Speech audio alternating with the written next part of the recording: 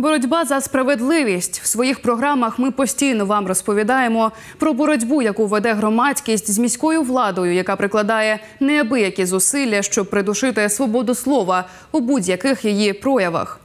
Згадаємо, хоча б деякі з них, зокрема. Побиття в кабінеті заступника міського голови Михайла Лисенка, громадського активіста Сергія Варфоломія на очах у журналістів Стоп корупція.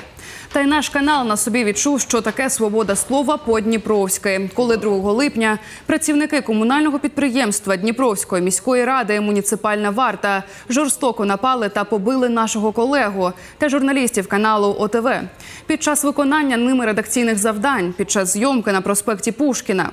Вчора увечері Бабушкінський суд поставив крапку ще в одній резонансній події у нашому місті, розповідає журналіст Віктор Жогін.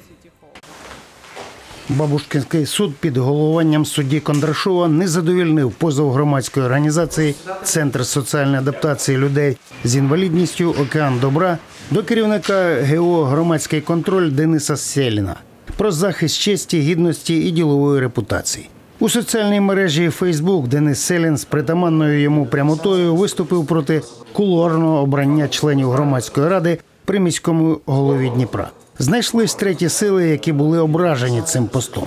Це стало приводом для подання позову.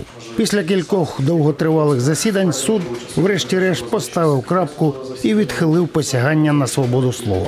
Суть суду заключалася в тому, чому я звертаю увагу, що фактично намагалися цензурувати висловлювання висловлювання в Фейсбуці. Тобто, коли ти робиш сатиру і оціночне судження, тобто кажеш, що а, громадська рада може оголосити війну Ватикану або вирішити, що а, війти в склад ДНР і так далі. Тобто, це сатира в явному вигляді. І коли інша сторона, яка взагалі до цього не має стосунку, звертається до суду, щоб це спростувати, це викликає дивний подив. Або якщо вони намагаються, щоб ми спростували, що засідання суду йде декілька засідань. Тобто, це я вважаю, що пряме намагання, щоб люди нічого критичного не писали в бік влади, в бік якихось незручних подій і так далі. Тому ось е, аспекти висвітлювання в ЗМІ моментів, коли намагаються цензурувати будь-які висловлення, досить досить важливо, тому що такої практики в Україні не має бути. І коли ось певні групи, скажімо так, намагаються постійно. Зробити усі варіації тиску на висловлювання це досить погано для свободи змі, свободи висловлювання. Тільки що я вважаю, що відбулася доволі правильна штука. Тобто стосувалось питання, чи може особа висловлювати свою думку, свою позицію. В даному випадку е, Дініс є громадським діячем, на мій погляд. Він має право е, сказати, що він вважає. В даному випадку йшла мова про те, як е, громадська рада в місті Придніпровській міській раді була сформована, що вона була сформована фактично кулуарно, і це якраз підсвічувалось.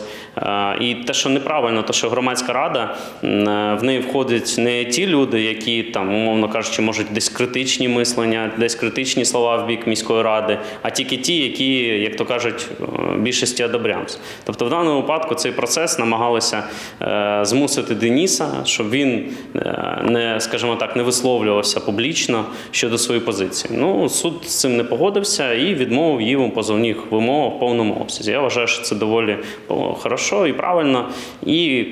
Корисно в цілому для суспільства, тому що там ніяких образів сторони Дениса ніколи не було. Це було виключно, скажімо так, оцінка його тієї ситуації з цієї, скажімо так, яка склалася відносно формування до формування громадської ради. Отже, справедливість є, але за неї доводиться боротись. На жаль, у суді. Віктор Жогін, Андрій Лисенко, новини Д1.